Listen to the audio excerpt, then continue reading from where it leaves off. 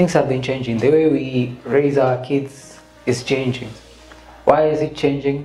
It's changing because the world is becoming very disruptive. The world is becoming fast. In a fast changing economic environment, everyone is trying to fight for their lives.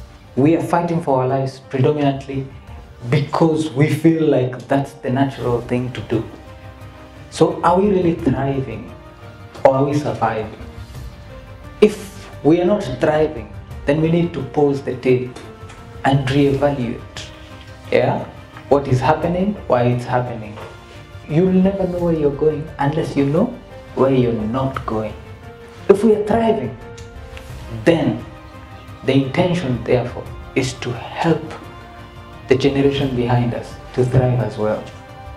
It's been an amazing journey to see people share their life stories, how the class has in, impacted them, how it has changed their mindset about money, about investments. At the moment, we are businessmen, but we are coming to the money making aspect. But it was it was really good to be able to sit down and critically view our investments in terms of returns and see that we were played. Wow. It was it was so bad. So they've been making money with it for seven years and then I've been just helping them to make money. And I was I was a little angry, but then we sat down with my husband and we looked at all of the investments and all of the things that we had done before and we were disappointed because it's true. These people were just they're just keeping money for us.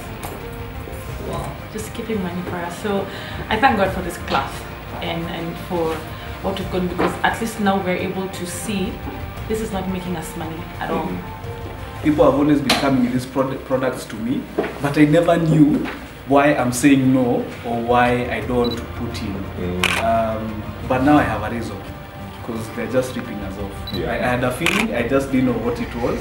But from this class, I'm like, aha, what are you giving us? What is the rate of inflation?